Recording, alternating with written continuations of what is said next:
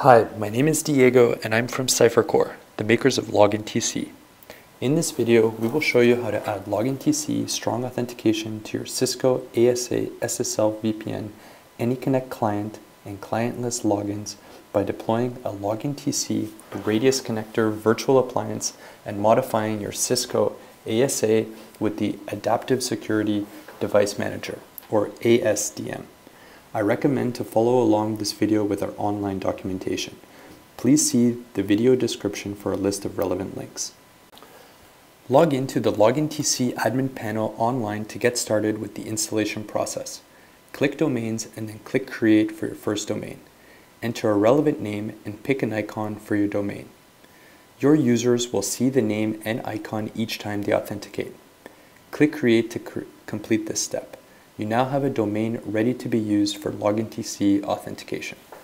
Now install and configure the LoginTC Radius Connector appliance in your virtualization infrastructure. Virtual appliance images are available in OVF slash OVA and VHD formats for both VMware ESXi and Hyper-V. You should first download the LoginTC Radius Connector virtual appliance image from the download section of our documentation website See the video description for a list of relevant links. Log into your VMware ESXi console, click Create slash Register VM, select Deploy a virtual machine from an OVF or OVA file, click Next, then click to add the relevant OVF files. Enter a name for the appliance and click Next. Select your relevant storage and select your desired provisioning. Now that you've completed the new VM wizard, click Finish.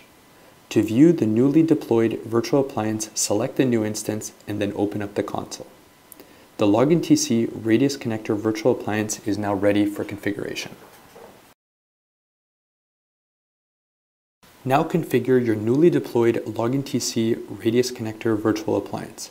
Hit the escape key and pick a password for the LoginTC-user user. This password will be used when logging into the virtual appliance's web-based interface. Next, set up the network configuration. It is important to pick a static IP address so that DHCP does, don't affect functionality. Next, configure the DNS. You can select an external or internal DNS server. Finally, turn on the web server. Now that the web server is turned on, Open up a new tab in your browser and navigate to the URL indicated in the bottom right hand corner. Enter the same password you configured originally to log in. Now your LoginTC Radius Connector virtual appliance is ready to be configured to accept authentication requests. Now add a new configuration to accept authentication requests from your Cisco ASA SSL VPN. Click Create your first configuration. Retrieve your application ID and application API key from the LoginTC administration panel. If you have not created an application, click Applications. Type Cisco and then click Cisco ASA SSL VPN. Copy the application ID and paste it. Next, get the application API key by clicking Click to View. Copy the API key and paste it. Click Test and Next. Now configure first factor authentication.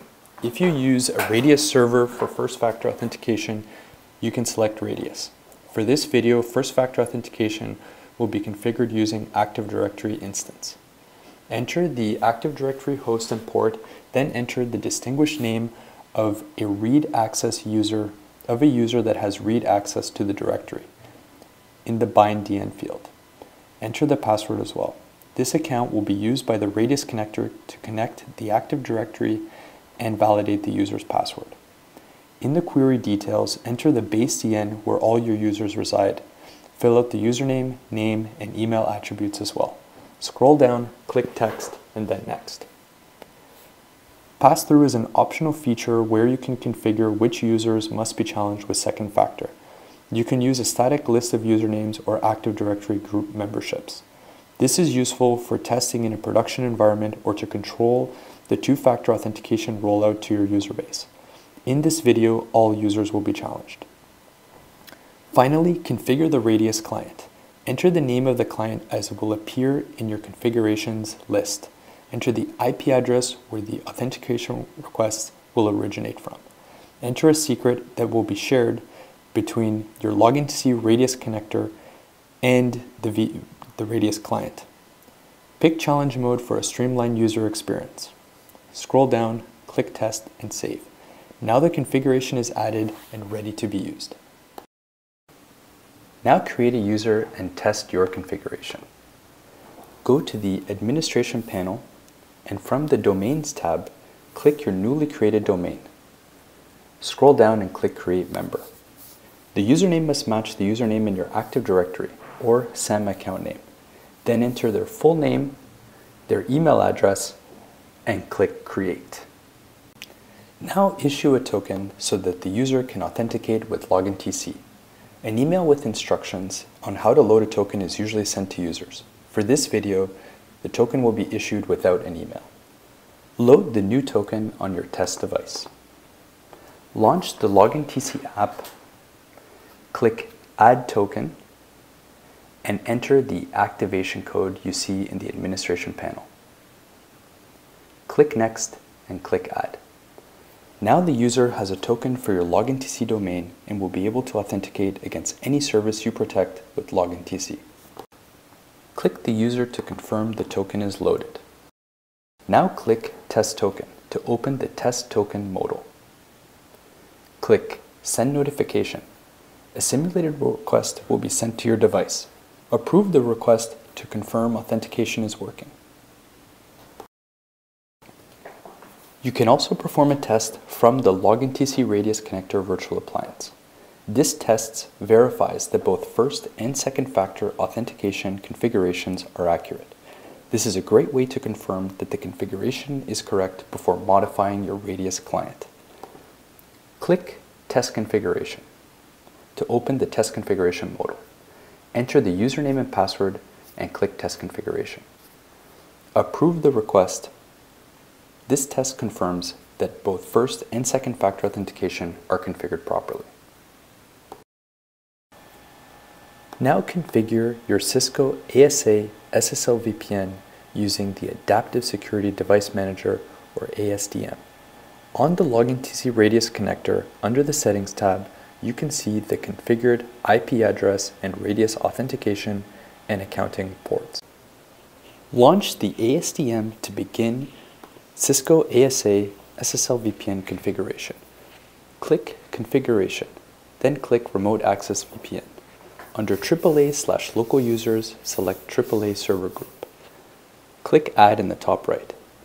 Enter the name of the AAA server group for LoginTC. Make sure to set the max failed attempts to 1 and click OK. Now add a Radius server to this group. Select the newly created group and click Add in the lower right hand side.